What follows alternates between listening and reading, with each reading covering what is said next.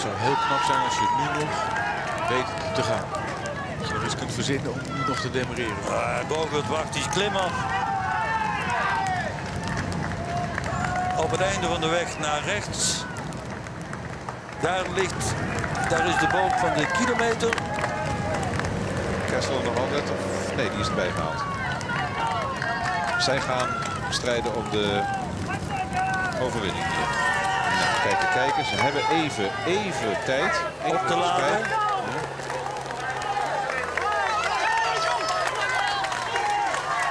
En dan parkeert Bogert zijn fiets achter die van Rubelin. En dan gaat dus de Italiaan zeg maar dwingen om vaart te maken. Davide Rebellin of Michael Bogert. Het publiek wordt bijkans gek van enthousiasme. Hier zijn de vier op 34 seconden. Dus dat is allemaal simpel. Het gaat erom of een Italiaan in Duitse dienst of de Nederlander Bogert in zijn race. Hij staat zijn versnelling goed en vast. Slaat de ketting niet over. Hij kijkt. Ja, Bogie, dit is een gouden kans. Nerveus, dat is hij altijd al geweest. Die mannen die zitten een halve minuut. Die zijn gezien. Maar gebeurt iets. Wat zou jij nou doen, Maarten? Ik kan de benen van boven niet voelen. Ik, eh, hij moet het natuurlijk gewoon... eh, Maar kijk, hij, zit, hij heeft nu even gekeken. Waarschijnlijk waar die vier zitten. Dus hij weet dat die niks meer doen. Er, er kan één ding gebeuren. Hij gaat aan zo meteen. Ik denk dat Rebellin op hem wacht en probeert op te vangen. En ik kan geen voorspelling doen.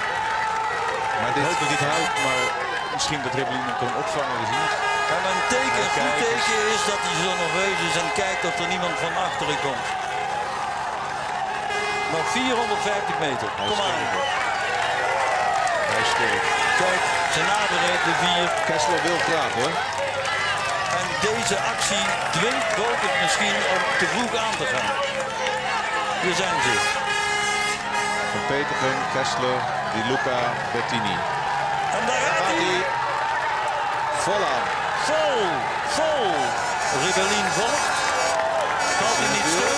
Komt hij in het wiel? Valt hij niet stil? Hij komt in het wiel. Ho, ho, ho. En nu? Wat een finale. Maar dan moet hij er nog wel over, hè? Ja, maar kijk, de Italiaan is sterk. Heel sterk. Davide Rebellin. En Bogert weet dat hij alles moet geven. kan niets anders doen dan voluit gaan. Meer heeft hij niet. Meer heeft hij niet. Zitten kan eigenlijk ook al niet. Je moet blijven staan. En daar komt Rebellin. Jawel. Jammer Michael. Het wordt weer een tweede plaats van het vorig jaar. Nou, Ja, Davide Rebellin wint de 39e Amsterdam race. Maarten Ducro had gelijk. Oh, we kunnen hopen wat we willen.